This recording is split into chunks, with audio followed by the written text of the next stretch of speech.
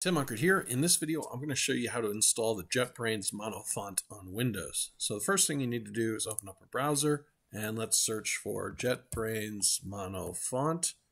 Hit enter and we'll come to this link, jetbrains.com forward slash LP slash forward slash mono.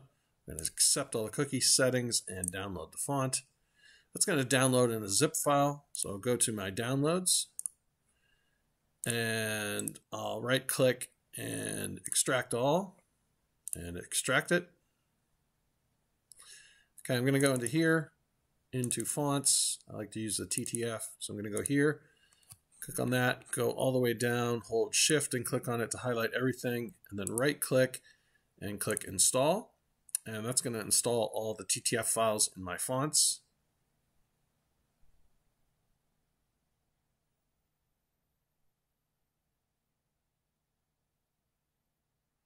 And there we go. Uh, so I can go back to downloads and actually delete this and delete this. And let's just test it out. I'll show you in VS Code. So I'm going to open up VS Code here. I have a little C program. If I do control comma, that brings me up to my settings. Let me make the font size larger so you can see it first. Let's do 20. And if we go back here, we see the font, which is uh, by default on Windows Consolas. So I want to change it to JetBrains Mono. So I go here, and go to right at the beginning and in between quotes type JetBrains mono end the quote and do a comma.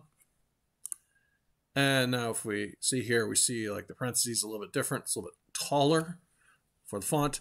But that's pretty much all there is to it to uh, setting up JetBrains Mono on a Windows machine. Hopefully you found this video interesting. If you did, please like and subscribe. Thanks for watching.